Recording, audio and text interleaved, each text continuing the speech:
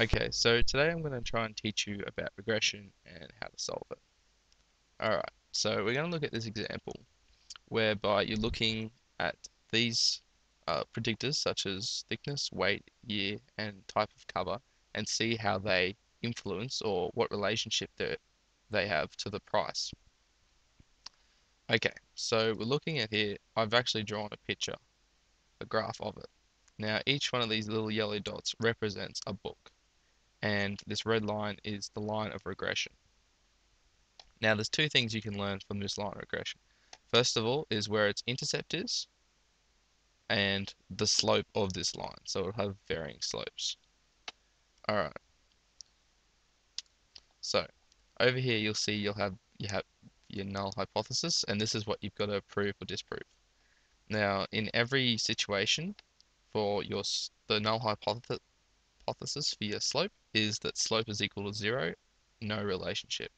And for your intercept, uh, y-intercept at y equals zero. Alright, so what that means pretty much is that you'll have um, this slope would be straight across, that's zero slope, or intercept at the intercept there. Alright, so pretty much you're testing um, against the null hypothesis and you get p-values from the Minitab printout. This is the sort of thing you'll get. This is from chapter 3 slide 21. So pretty much if you have a low p-value you reject the null hypothesis and if you have a high p-value which is above 0.1 you keep the null hypothesis. Um, Next little saying, which is quite useful, is if it's low, it's got to go. Um, I was just using that, it's quite good. Alright, so this is the readout which you'll be asked to interpret in the exam. Pretty much coefficient, SE coefficient, and T row, all of this you won't need to know, and these two here. All you need to know is the predictors, which is constant thickness, weight, year, cover, and their p-values, and r squared adjusted value. Alright, so pretty much how do you read it? Constant is the intercept. It is always the intercept. So the null hypothesis for constant is that the intercept is at the origin. So y-intercept is at y equals 0. And you see you have a high p-value, which if it's low, it's got to no, it's got to go. So the high p-value means that you keep it. So this is saying that the intercept is at y equals 0 which is shown here. We can assume that the constant intercept in this model is at zero. Alright, so we're looking at if thickness increases, does price increase? Alright, that's kind of the question. And the null hypothesis for that is that simply, no matter how thick a book is, price will stay the same. That's the null hypothesis. Okay, because you can see here, slope is equal to zero, no relationship. So if there was a relationship, as there is, as thickness increases, the price will increase. All right. Going back to here. All right.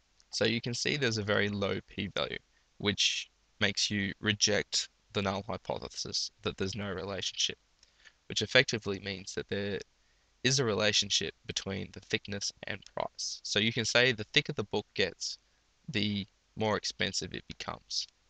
So that's pretty much what this p-value is saying. So how you say it is there is very strong evidence, because that's a very low number, you say there's very strong evidence that there, that there is a relationship. And to say that there is a relationship, all you say is that the mean price depends on thickness in a linear way, because it's a linear relationship, after allowing for other predictors. You could probably just say this bit here and get a 6, this little bit here is just for your seven sort of thing. And that just goes through the whole thing. It's the same for year, as you, uh, same for weight, sorry. As you can see for year, year has a high p-value, which means that no matter what the year is, it doesn't have an actual effect on the price of the book. So if there's a high, essentially if there's a high p-value doesn't have an influence on the price. If it has a low p-value, like these two, they do have an influence on the price. This one here, it's not a low p-value, but it's not actually a high enough p-value to totally accept the null hypothesis. So there's some evidence to reject the null. Okay, and this one here is this one here. So there's slight evidence to, if you reject the null, you're saying that there is a relationship.